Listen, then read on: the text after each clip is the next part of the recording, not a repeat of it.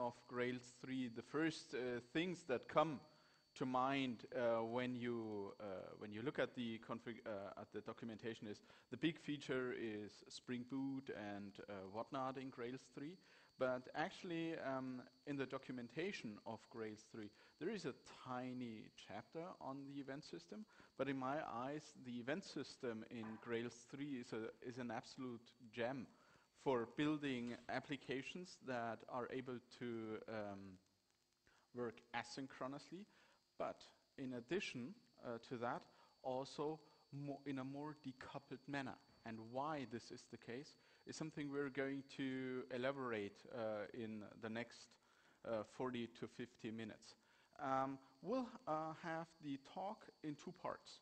The first part, I will introduce you to the, uh, to the idea behind the event system, why the event system is a good idea from a software architecture, software design point of view, and uh, we'll take a look at the APIs, the annotations, of what the event system is based on. It's based on the Spring Reactor project. And uh, we'll close that off with uh, a short uh, live coding demo where I will um, refactor an application to the event system in order to show you how the decoupling really works, what the benefits are, and you can uh, download this project also uh, from GitHub. I'll have the uh, link to the repository on my last slide. Um, due to the introduction, uh, we can keep that short. My name is Michael. Nice to meet you, everybody. Uh, you can follow me on Twitter. My handle is bitboss, and I will also post the slides and the link to the code after the talk on Twitter so you can download that. So basically, I have this hype word reactive uh, in my title. And um, let's take a quick look what reactive actually means. Um, there is this reactive manifesto out there. I think a couple of you have already stumbled over that one, have read it, have thought, well, that's a nice idea. There's other frameworks that um, are really intensively picking up this idea, for instance, the play work, but we're at the Grails conference, so uh, uh, we'll not talk about play here, we'll talk about Grails. And this is also a very big topic if you take a look at the ecosystem in, in Grails. Um, a couple of weeks ago, I've been to the Spring I.O. in Barcelona, and they had a keynote, and one of the, the key big, big features in Spring Framework 5 uh, is going to be reactive programming based on Reactor, which is also uh, the basis of the uh, event system in Grails 3. Reactive means that web applications should be responsive. That means they should answer fast. If you take a look at the e-commerce world, for instance, uh, there is organizations, and a lot of organizations do that, that measure how much uh, performance drawbacks cost them in terms of conversion rates of customers. So the faster an e-commerce application is, the more conversations, the higher their conversation rate is. That's a general rule of thumb. These applications should also be resilient. Um, resilient means they, should, they shouldn't fail when some backend service fails. So for instance, um, we're going to talk about a um, content management system throughout this talk and also in the de demo. The content management system that we're going to see is totally dumb. It's not a CMS talk we're talking about here. But for instance, I want to post an article on our website, and in this case, I also want uh, the article to be posted to Twitter, to Facebook, to Google+, uh, for instance, added to some RSS feed or whatever. So let's imagine Twitter's not working, and we wouldn't have a resilient application, we wouldn't be able to post the article on Twitter because the complete call would fail. That's no grace, uh, graceful degradation of service. A graceful degradation of service, uh, which resilient is actually about, is, well, we can post the article, but the link isn't on Twitter. Well, will cost us a couple of hits, but the core of the business, posting the article, publishing the article, would still work. The next thing is elastic. Elastic means um, that these applications are easy to scale out. If there are spikes in requests, we can easily scale these out uh, and distribute the application. And finally, there's message-driven.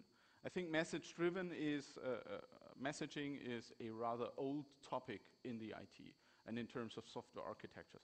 But um, I would um, see message-driven. Well, message-driven is a perfect case, but message-driven also implies tenden uh, tendentially uh, some sort of infrastructure being involved.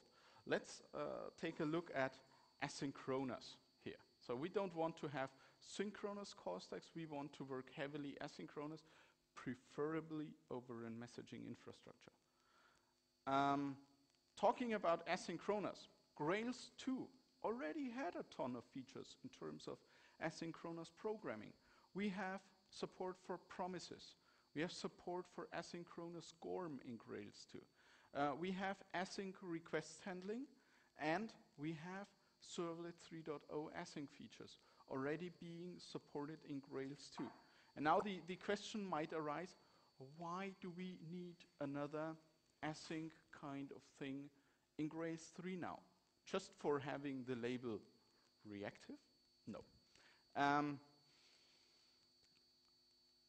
a good idea is actually that we want to create loosely coupled applications. Applications that have a loose coupling between the components and that have a high co cohesion in terms of uh, business value. So in terms of cohesion on the, uh, on the CMS application, we might see that the core business value of a CMS application is to write, to edit, and to publish articles. And we can say that, for instance, linking an article on Twitter, on Facebook, or Google+, we can say that's marketing. That's not the core business.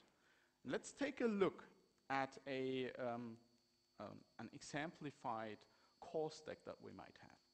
So when we want, we have an article controller in Grails. Grails create controller article or create domain class article, generate all, whatnot. And there's the save method. And in the save method, first of all, we want to save the article in Gorm. After that, we publish the article on Twitter, we publish it on Facebook, and we notify the boss uh, via mail, hey boss, there's a new article for you to review. How would we have usually done that in the Grails 2 world? Usually, I think most of us would have put the logic into services and have called the services be it synchronously via service dot uh, article on Twitter, or asynchronously using promises or something like that. But the problem with that is that even if we use promises, for instance, for the async processing, we have to put the code, the service call, into the, let's say, save article service or the article controller. So adding a new social network. For instance, we now want to go ahead and post picture with a link to the article on Instagram. Means we have to take the code for um, uh, in the article controller in our hands and put the code in there. So it wouldn't be we wouldn't be able to write a um, let's say a Grails plugin, uh, Instagram publisher, and the Grails plugin would um, suddenly um, do the publishing. We would have to add the, pu the plugin and then have a reference on the service in our uh, initial core business code base. So this is, in some ways, a well, pretty tight coupling. So even by using promises, we have a tight coupling in our components, between our components, between the plugins, between services, between controllers, and so on. And let's be honest, we start off with a small CMS, we say, we are agile, we start with a minimum viable product, go in the market, have a killer app out there, and well, the minimum viable product is going to grow. It's going to grow, and sooner or later it's going to look like that. Because we have a, a mess of dependencies, we have a core web application, be it a Grails application, something other, um, that is highly dependent on other components. And one solution um, is working with events. And that's a really interesting uh, alternative here because um, we could refactor the code and say in the article controller, we only save the article to the database with Gorm, for instance. That is the core business of the article controller. And after that, the article controller publishes an event, article created or article published event.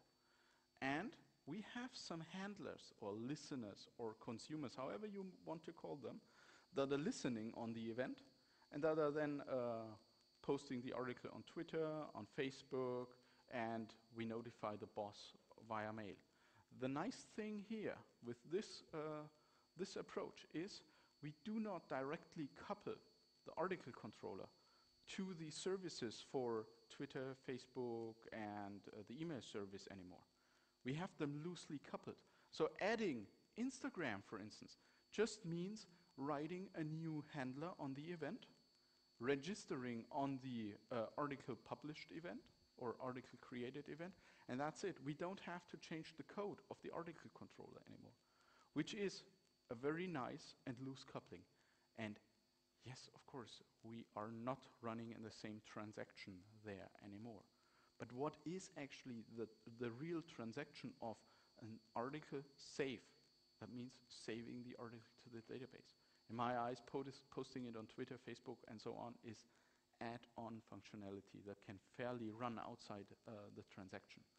And if this fails, we can have a, error stack, an error queue, or something like that. How would we usually solve this kind of problem?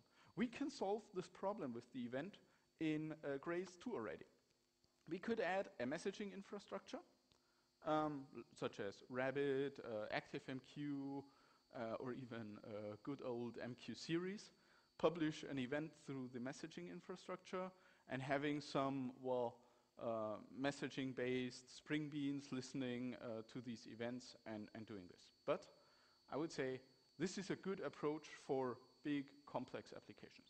For, let's say, um, normal, smaller, medium-sized Grails applications, that might be a little bit of an overkill. Uh, it might be a little bit too much. Adding an added infrastructure, it adds complexity. So there is now a new uh, project which is called Reactor. And this is the basis of the Grails 3 event system. Let, let me go back to this slide um, for a second. Um, there is a new feature now in Grails 3, which is uh, the event system.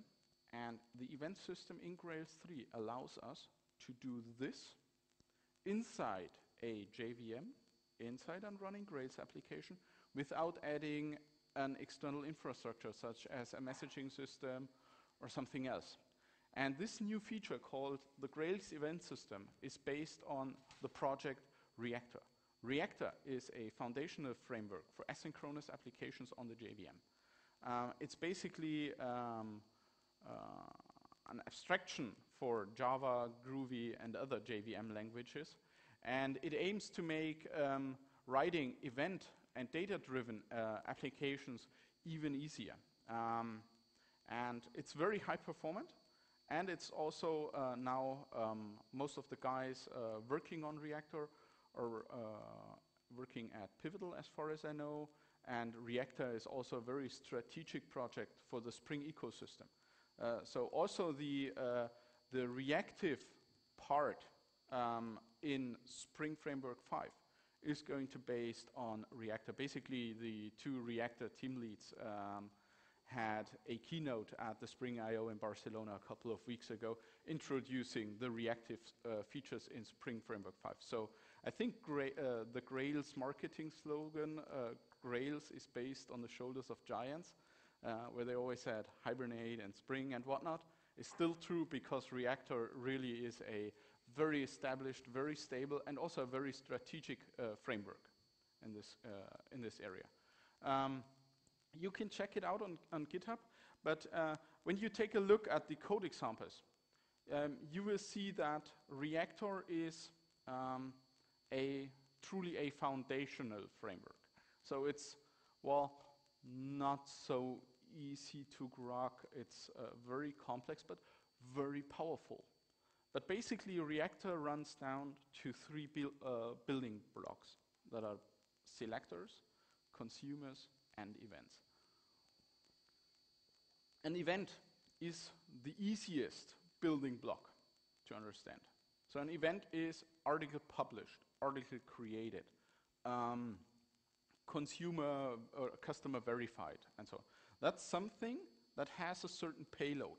Uh, we can transport data in events. So for instance, we could publish our article as an event payload through uh, Grails or the Reactor event system. So we can transfer data uh, through events. That's an event. A consumer is a class or a component that is able to consume events. Um, so it can take an event, take the payload of the event, and do something with the payload. Well, it can toss the payload away and just have a println event received in its code. And the selector is um, giving a stream of events. Um, basically, applications that are event-based fire off a plethora of events, many events, many different events.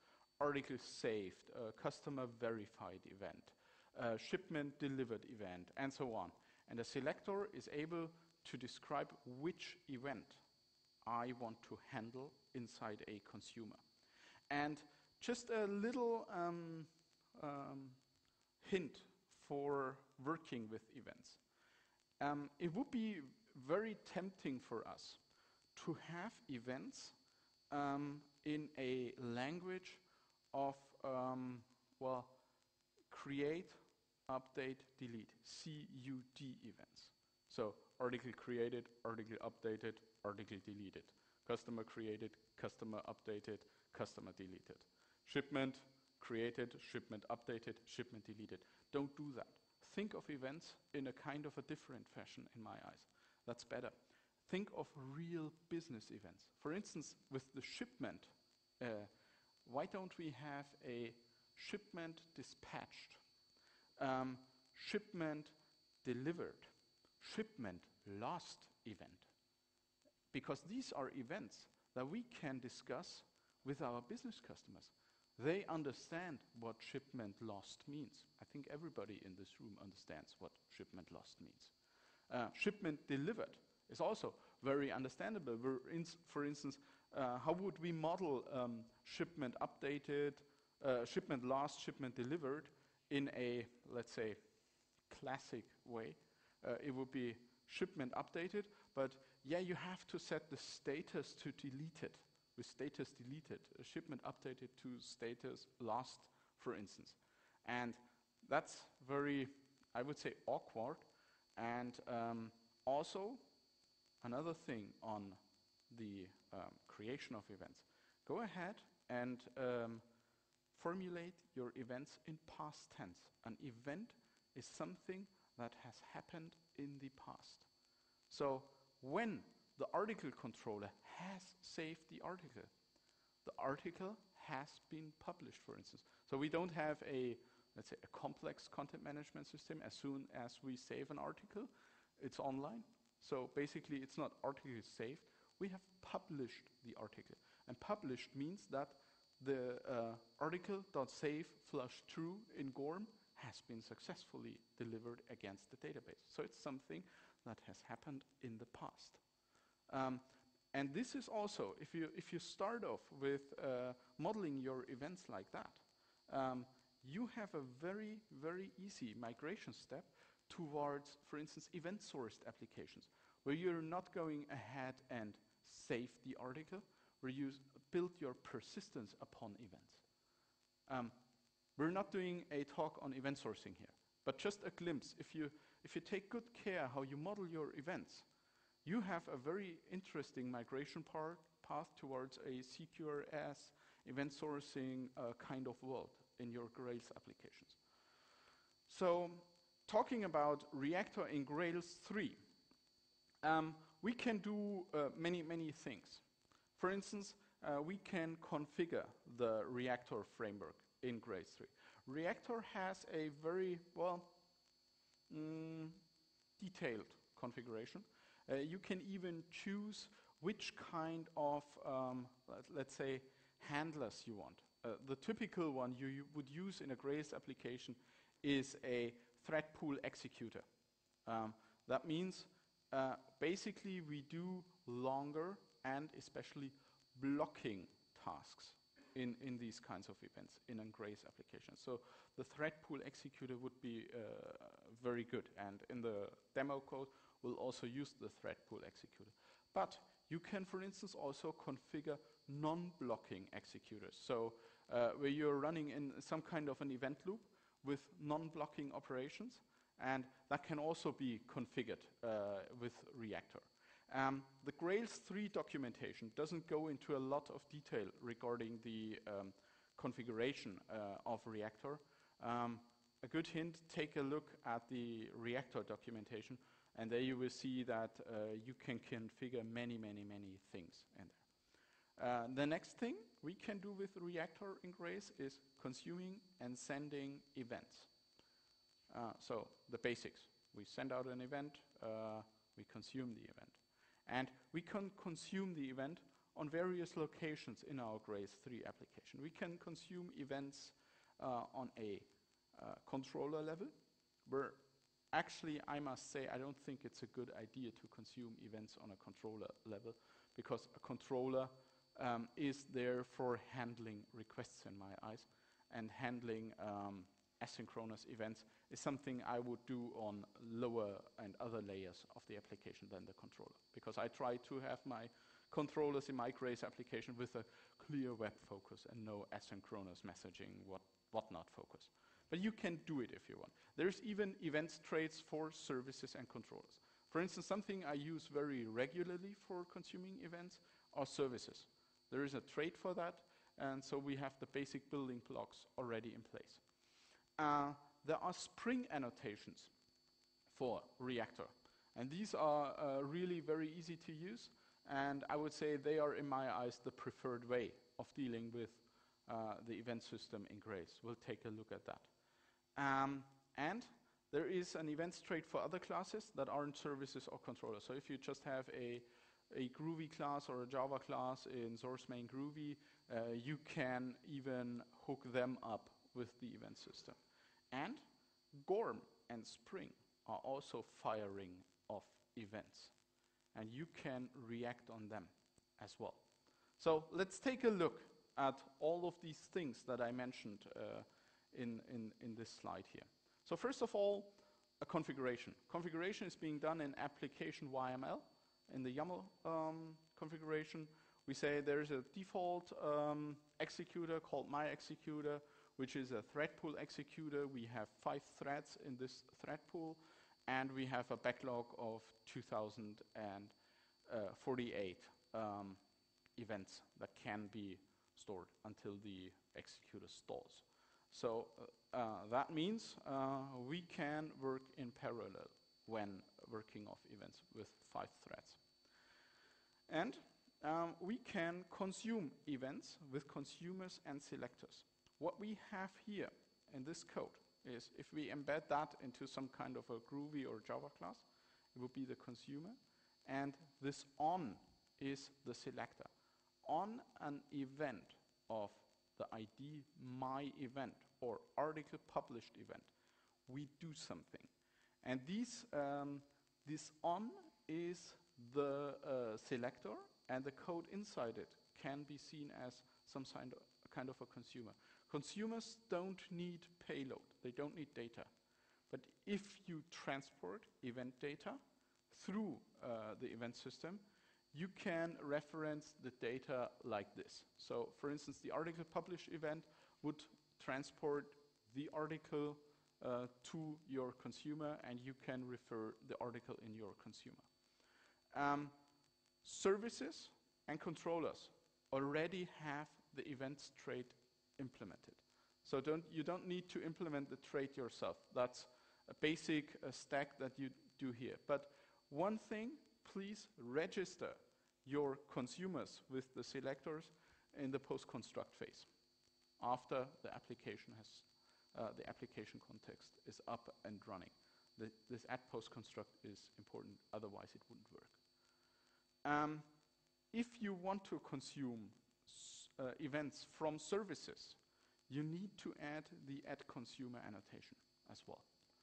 Um, to be honest, I don't know why this is the case, but well, it is like that. I need to talk to some, somebody from the Grails team about that, and that's something I actually wanted to ask Jeff or Graham today, because I didn't grok this, but it's, it's like that. So basically, if you have a service, you need to annotate it with add consumer. Um, and the very nice thing about these selectors, we have two options on working with selectors. First of all, we can use uh, on uh, with um, article published, for instance, as the event ID, but we can also annotate a method with add selector.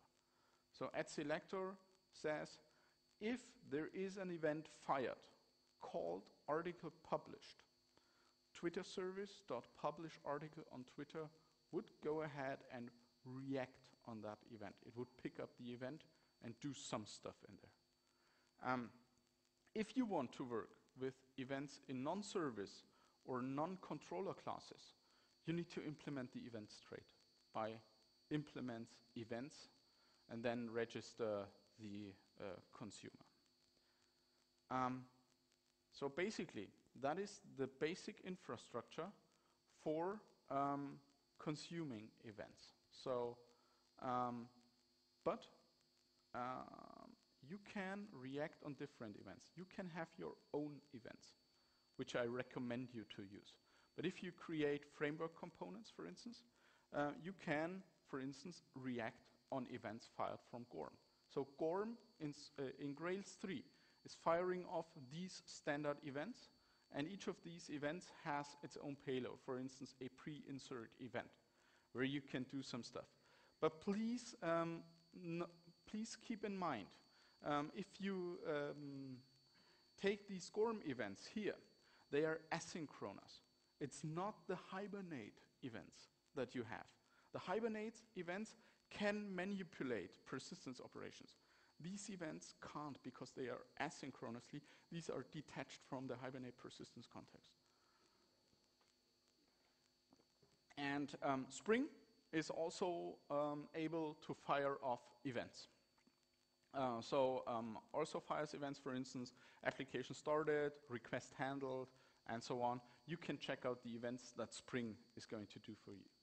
So, so far with the theory. I think it's time to get our hands a little bit dirty and uh, see all this stuff in a little bit practice. As I said, um, there is a, um, I have a GitHub project um, on my GitHub site where you can download uh, the demo code, which is working. There's a README that, that you can check out in order to get it up and running. And I kept uh, the complexity really low. Um, for instance, yes, I do use a email notification handler and so on, but I don't code email configuration, Twitter configuration, or, and whatnot. I just do println to the console that you just see the, the basic building blocks.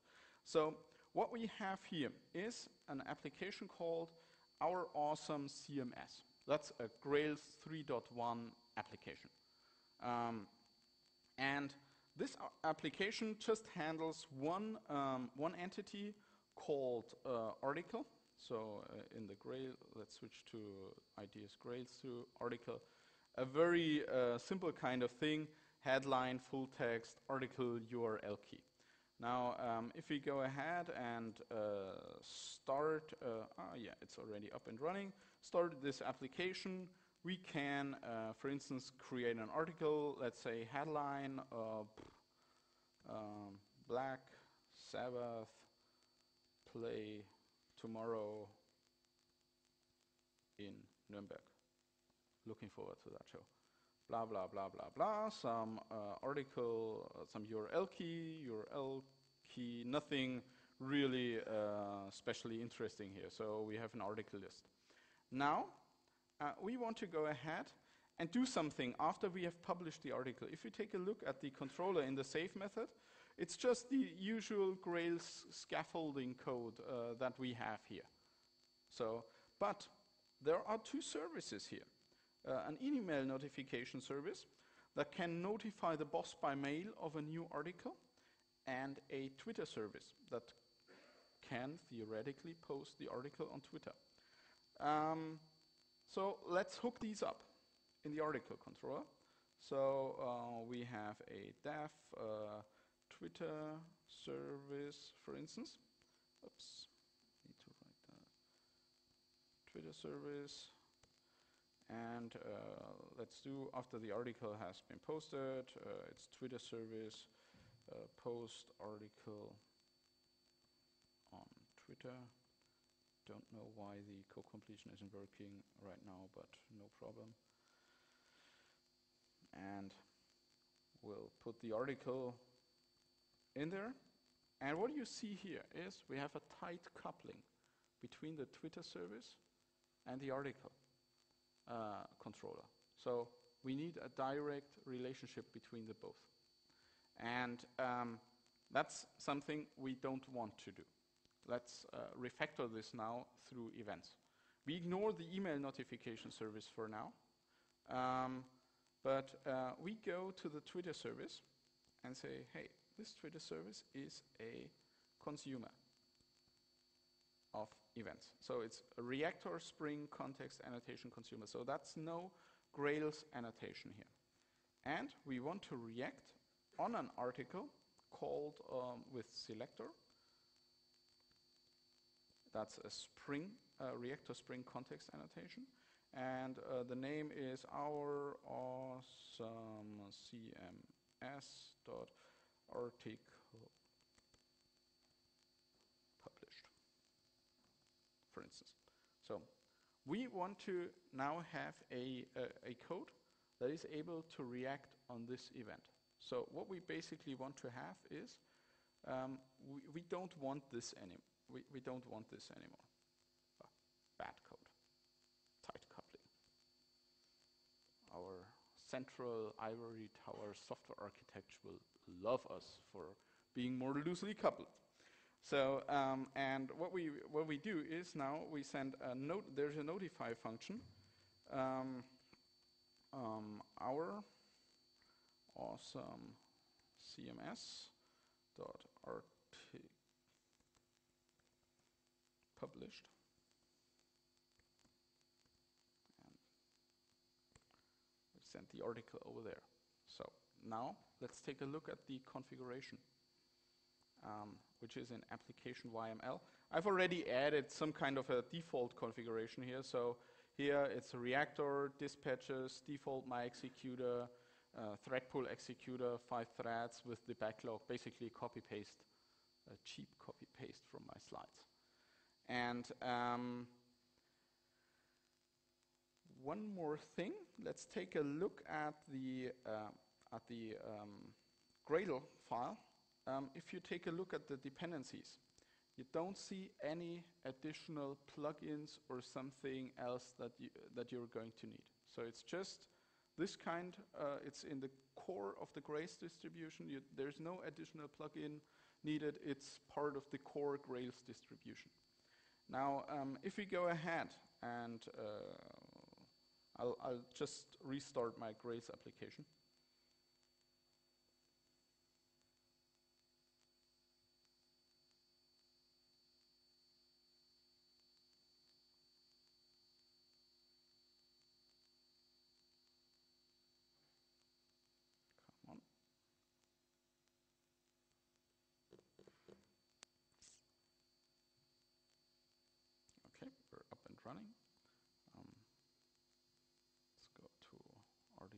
6. And we create a new article. Uh, some event, I'll just add some random payload in there. And we see posting the article to Twitter. I just notified. Um, let's take another look at the code again. Uh, in the article controller. So there is no longer a uh, Twitter service dot publish some stuff to somewhere. It's just notify and so on. So the email notification would be uh, pretty easy as well. So it's add consumer and add selector our awesome cms dot artic published. If we have that, the email notification service is hooked up. And now let's do one more thing uh, to end uh, this presentation. I now go ahead and leave my awesome CMS right there, my awesome CMS project. I go out and say Grails, uh, create plugin. I, I, create an external plugin, um, let's say Facebook plugin.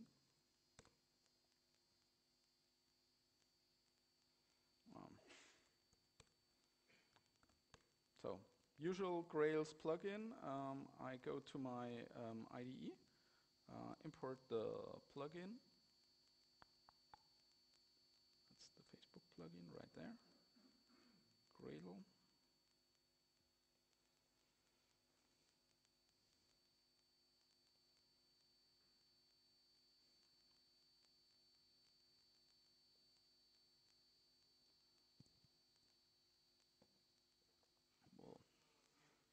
In a new window.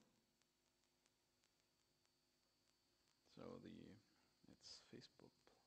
And I'll now add a service to that plugin, to my um, uh, Facebook plugin. So Grails uh, create service, uh, let's say Facebook poster.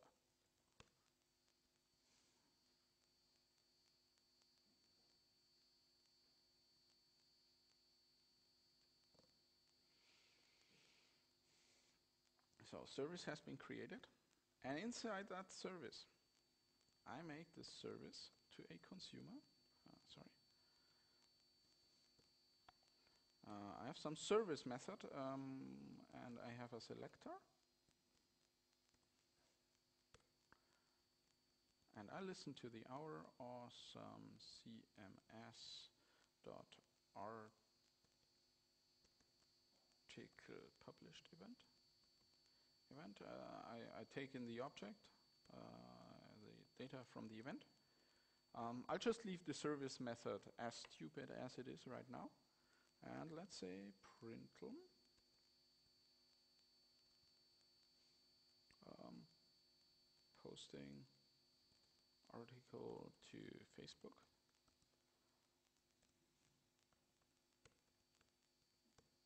To string.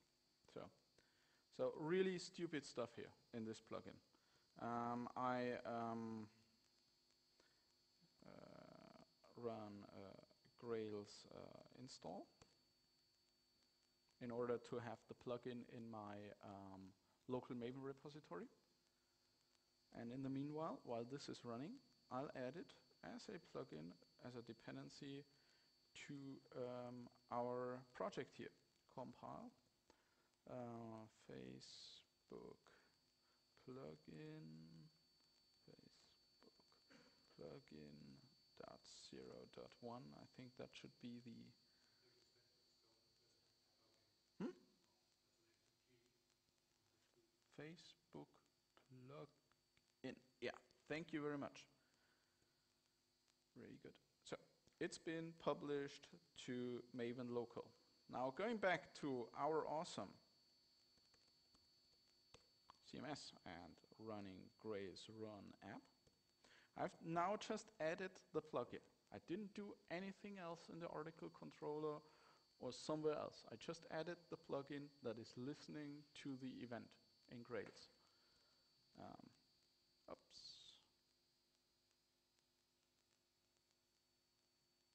Ah.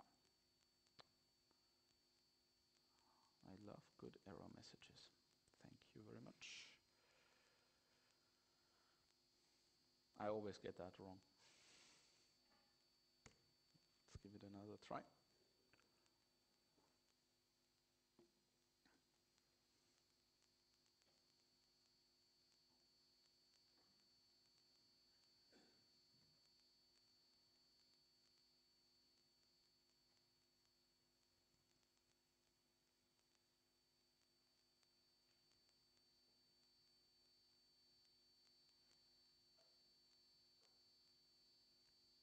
The application is up and running. Let's go to the article list, which should be empty.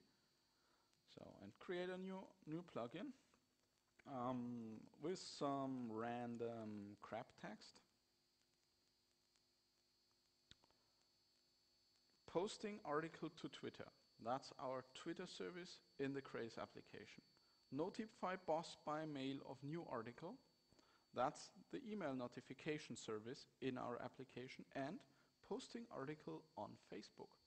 That's now the article from the plugin and all we had to add was the dependency to the plugin and the plugin is reacting asynchronously on these events. So the only kind of coupling that we have is not in the code, it's just uh, in the build path here. And uh, I think that is really cool. Uh, you can't do that with promises, for instance, because with the promises, with the other async features, you have to have uh, them in the code. And uh, that's, that's a very, very nice feature. So basically, um, to conclude, I think this is a, a, total killer feature in Grails 3, the event system. I actually, after I migrated uh, some of my applications to Grails 3, I immediately, I immediately started uh, refactoring some of the async logic that I had to the event system.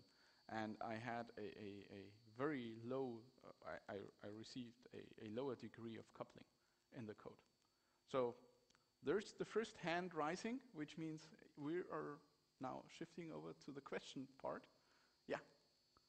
Could you, in your uh, event listener, your consumers, uh, are you passing around the main object? Mm -hmm. Is it still attached to Hibernate context? No. No, no, it's detached. Hmm? You would have to reattach it. Yes. Basically, um, what I have in my code here is a very, well, simplified example because it's just 50 minutes time. Uh, what I usually do, I don't pass around domain objects. I usually create uh, transfer objects for the events. So there are event domain objects, and these are detached. It's asynchronous. They have left the Hibernate session or the entity manager, whichever you prefer and detached. So if you want to do persistence operations on them, you would have to reattach them. But I don't think that it is a good idea to do any writing persistence operations on them because you might have, you might run into race conditions. You don't know who's going to be first because we fire off the event and then the controller is still doing some logic and you might run into trouble here. And I think um, the events are um, mainly a good fit for um, mm, non-core business operations that react on core business operations, and they shouldn't manipulate the data. Yes? Or do you have an add-on to what I said?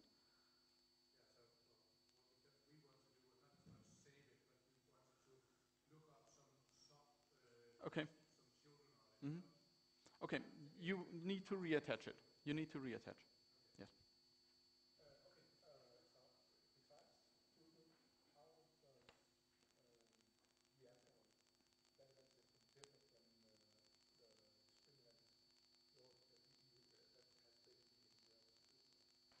Mm -hmm.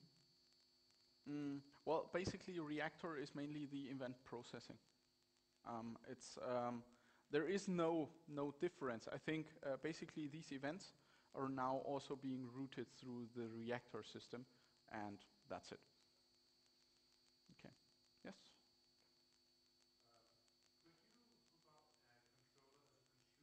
Yes.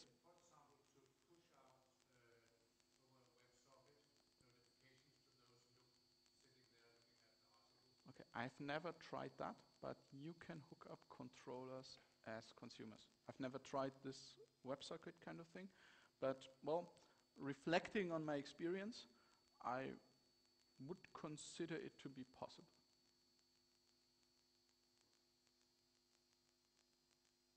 Okay. Yes. First you, then you.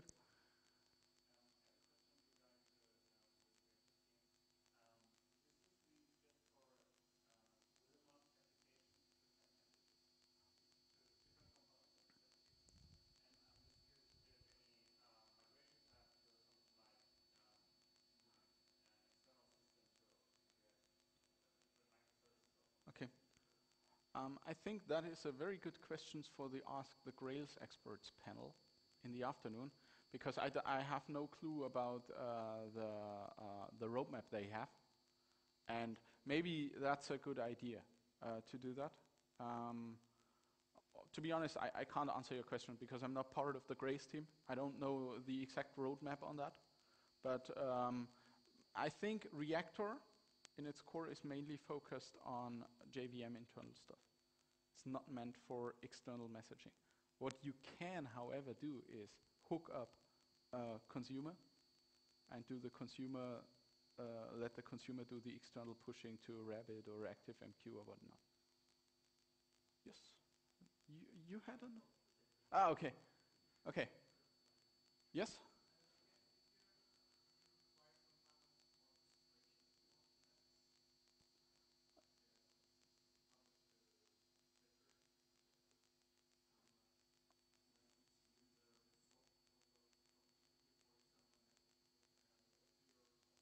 Mhm. Mm, tough question, to be honest, um, because um, basically this event system is meant to go away from orchestration to reaction.